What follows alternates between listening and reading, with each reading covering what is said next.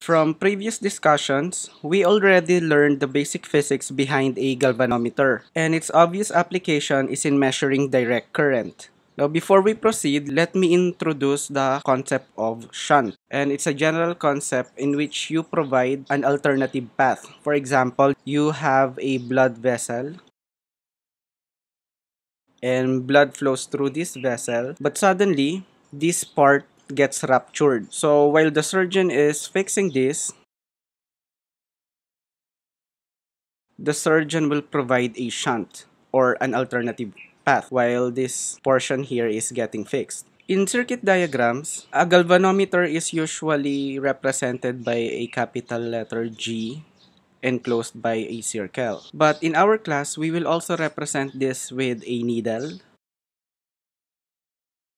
enclosed by a circle and inside that circle is also a resistor to denote that it has an internal resistance. We could either use this one or this one. Analog galvanometers has this what we call the scale. Basically, if this is the needle, it actually points to a scale.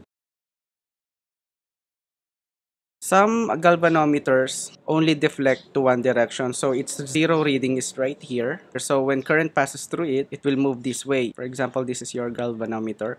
When current passes through this way, then it will deflect this way. But when the current passes in the opposite way, then obviously this will not deflect. However, some designs of galvanometer have zero reading at the middle so that when current flows this way, then it will be deflected to the left. However, when current flows this way, then this needle will deflect on the opposite side. When an ammeter is used to measure current, it must be connected in series with the circuit so that all the mobile charges will pass through it. However, it must not affect the current of the original circuit. Therefore, an ammeter must have a very low resistance with respect to the original circuit. So for example, this is the galvanometer.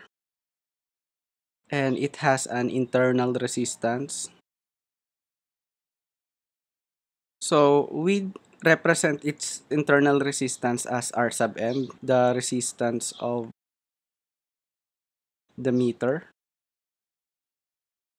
Let's represent the full scale deflection current as I sub M or I full scale deflection current.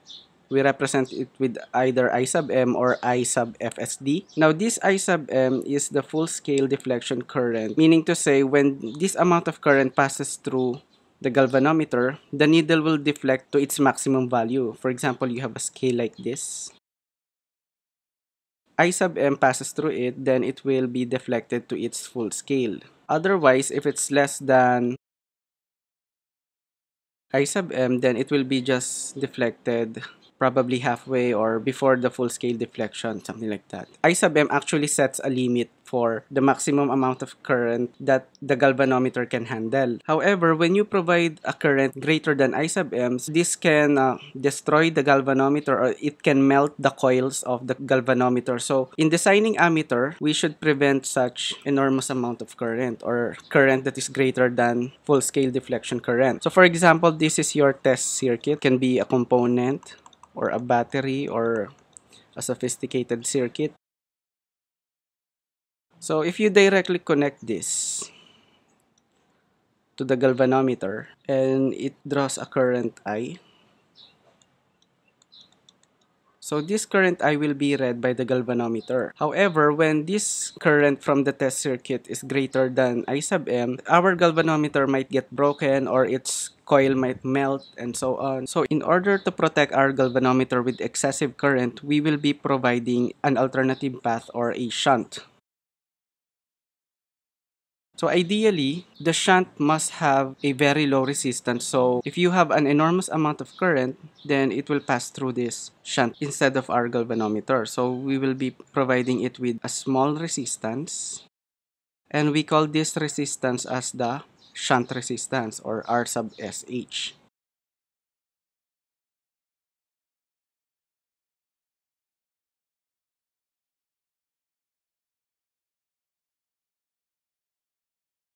Apparently, this I will now be divided into the current that will pass through the shunt or let's represent it as I sub SH and the other one will be I sub m. So basically, this setup is our basic ammeter. So let's derive an equation to determine the value of R sub SH when we have an estimate of I. So for example, we can estimate that our test circuit has an output current of 1 milliamp, 10 milliamp, and our galvanometer can only handle 0.1 milliamp. So we could design an ammeter in such a way it can handle such amount of input current. So first, the potential drop at the galvanometer is obviously V sub m equals I sub m R sub m. And the potential drop at the shunt is V sub sh equals I sub SH, R sub SH. Now at this junction, obviously, since they are connected in parallel, since the galvanometer and this resistor is connected in parallel, then they experience the same potential. So I can write V sub M equals V sub SH. So plugging this expression here, I sub m r sub m equals I sub sh r sub sh. Using the junction rule, notice that the current I that flows in this junction is divided into I sub sh and I sub m. Therefore, using the junction rule, I equals I sub m plus I sub SH. So my goal is to derive an expression so that we can determine the value of the shunt resistance as a function of the input current from the test circuit. I can design an ammeter that can handle an input current with value I, given the value of R sub M and I sub M. So in our setup, the current through the shunt is actually irrelevant. So I can plug this to get rid of I sub SH. I minus I sub m R sub m. So I now have an expression for the shunt resistance.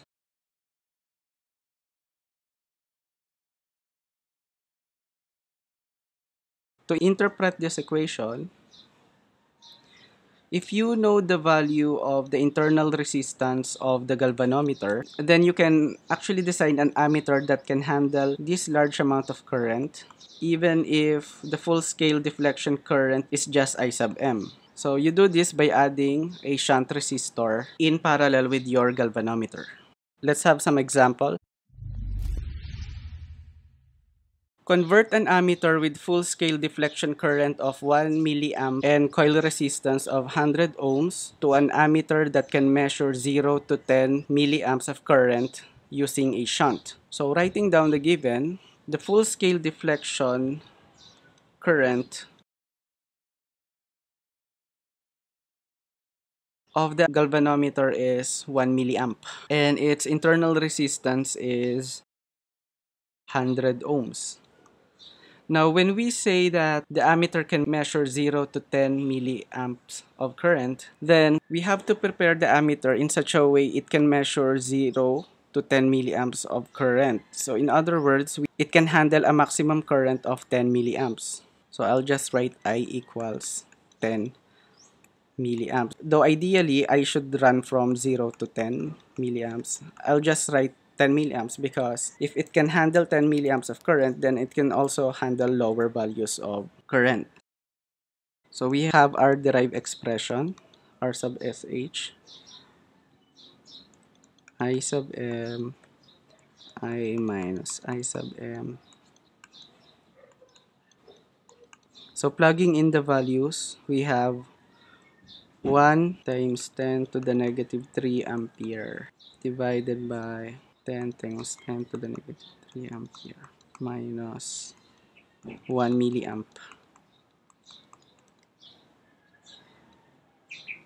times 100 ohms. R sub H is then equal to 11.11 .11 ohms. Let me show my old multimeter to you. Notice that I can vary the range of current that this meter can read. In a way, this is how an Ayrton shunt works. So an Ayrton shunt is used for multiple range meter. So in this design, you have a galvanometer.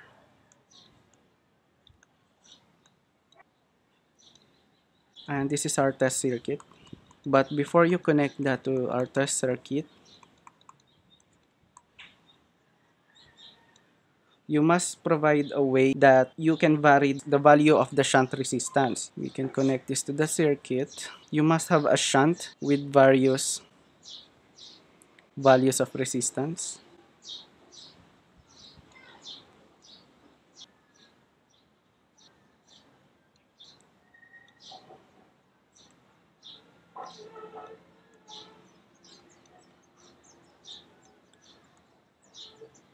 These resistors have value R sub A, R sub B, R sub C. Though if you total them up, that would be the value of your overall shunt resistance. So apparently, this could mean if you try to connect it here, then you can have just for example 0 to 1 milliamp of measurement and then here 5 milliamps of measurement 10 milliamps of measurements, so on. So this is just a clever design to vary the range of current that the ammeter can handle. That's why it's called multiple range meter.